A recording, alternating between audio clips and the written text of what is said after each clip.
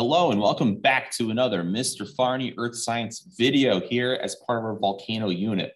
We've reached the end, the very final section in which we're going to discuss different types of intrusive activities that are associated with volcanism underground. We've spent some time speaking about some surface features like ash cloud, lava flow, different types of magma, different types of volcanoes, what they're comprised of.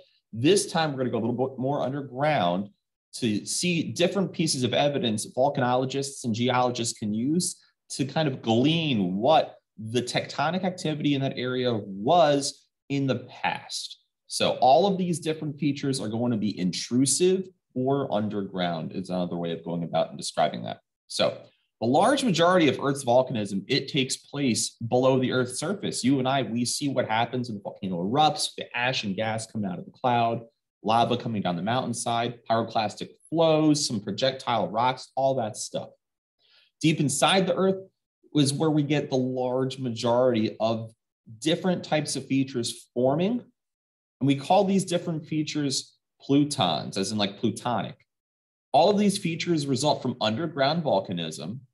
Many of them, after that volcanism stops, they begin to cool down and then they become solidified igneous rock. So solidified, solidified magma structures that we can see deep underground. And they vary in sizes. They can be very small, very narrow, or very large and very wide.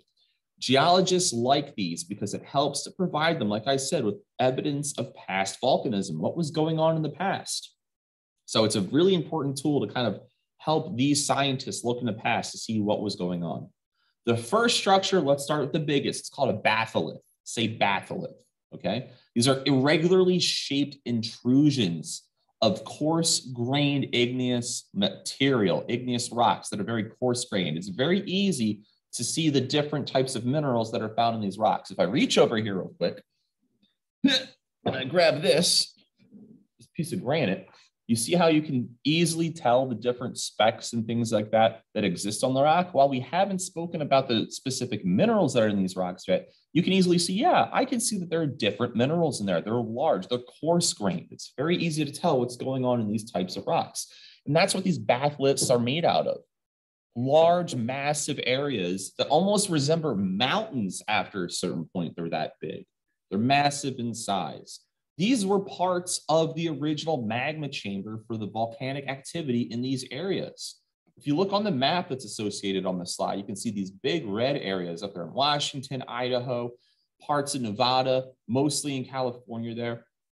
All of these are batholiths. And you can tell that even though there are four of them here, none of the four are equal in kind of shape orientation here. The pictures below are what batholiths look like after they've cooled.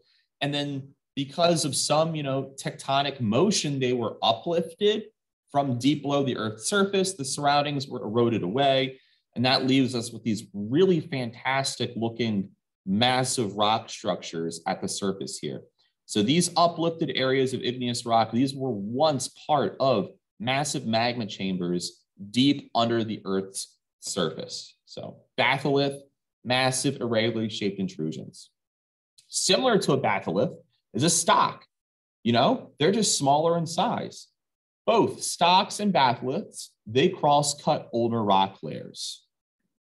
On the left here, like we saw in the previous slide with the batholiths, this is a stock. It's a much more narrow feature. It's very tall, almost looks like a mountain. But this, again, was formed underground.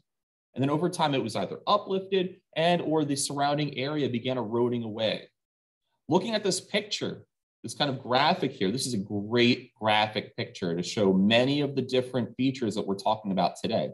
Here's that batholith, the huge feature right there that was part of the original magma chamber, and it feeds so many of the different features that we talk about. Some of that magma may have worked its way up to the volcano. Some of that magma may have tried to work its way up, and we'll talk about dikes, sills, and laccoliths in a second. Just know that batholith, it's part of the original magma chamber.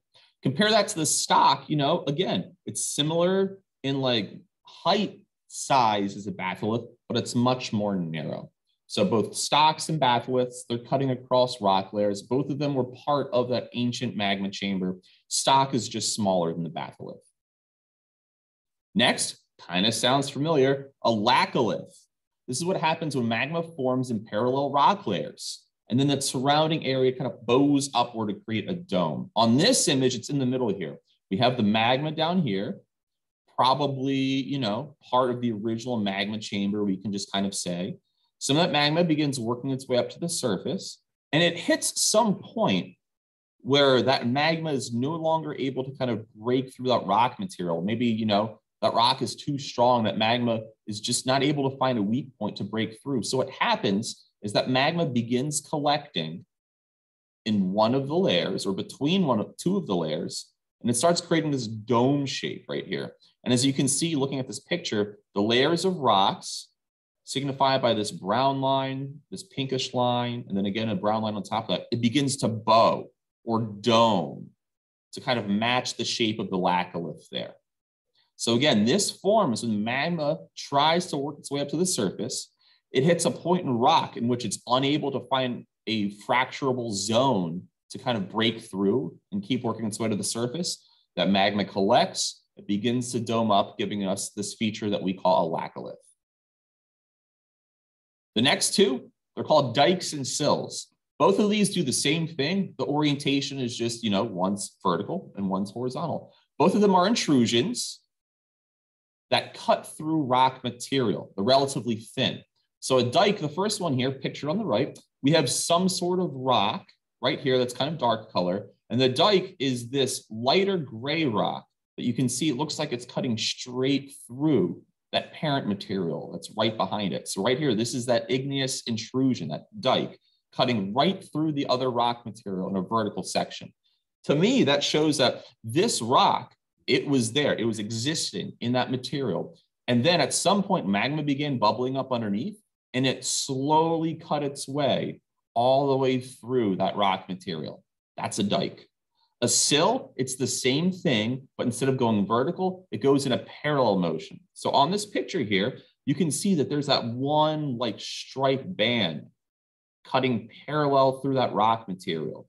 That's the sill. It's intruding parallel to a rock layer. And you can see that there's not a lot of distortion going on. The material above it looks the same. The material below it looks the same. The only real difference that you could tell is that it's a much darker color, kind of cutting through that parent material. So dike and a sill, magma cutting through rock, intruding through that rock. A dike has a vertical orientation, whereas that sill has that horizontal orientation. This is the last slide on our volcano slides, and it has many of these different structures that we've spoken about. We have batholiths. Remember, that's part of the ancient magma chambers there. It kind of feeds a lot of these other features with that magma.